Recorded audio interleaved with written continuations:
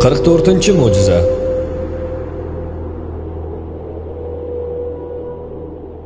Rasululloh sollallohu alayhi vasallam zotir riqo g'azotidan qaytib kelayotganlarida subayh degan kishi payg'ambarimiz bilan ko'rishgani keldi. Bu yersa bani muhorib qabilasining raisi edi. Bir otga minib bir tuyani yetaklagan holda rasululloh qoshig'i kelib ey muhammad sen xudodan kelgan payg'ambar emishsan agar shu so'zing chin bo'lsa bu minib turgan biyamning qornidagi qulini erkakmi urg'ochimi aytib ber dedi g'aybni Alloh bilur dedilar Buni bilmas ersang, yomg'ir qachon yog'ar, men ertaga nima ish qilurman, qaysi yerda o'lurman?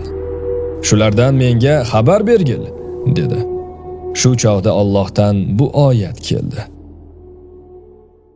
إن الله عنده علم الساعة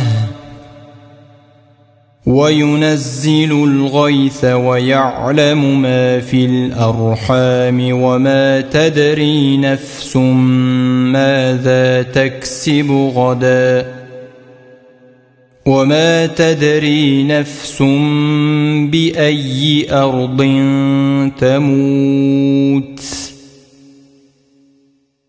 Ya'ni qiyomat qachon bo'lishini Alloh biladi.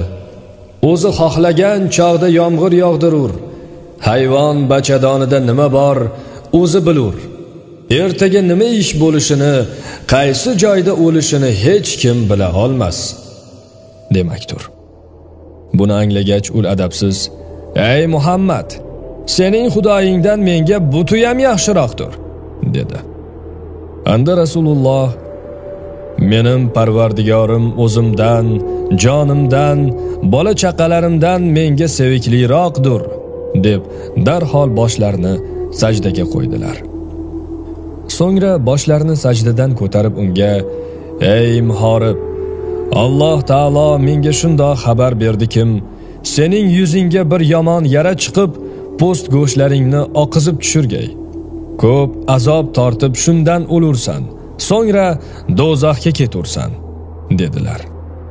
Oradan ko'p vaqt o'tmay rasululloh aytganlaridek uning yuziga bir yomon yara chiqib yuz ko'zlari oqib to'kildi.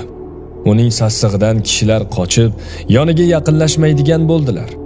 Muhammad bir so'z demish edi uning aytganidek bo'ldi degan bo'lsa ham tavba qilib iymon keltirmadi va dunyodan shunday o'tdi.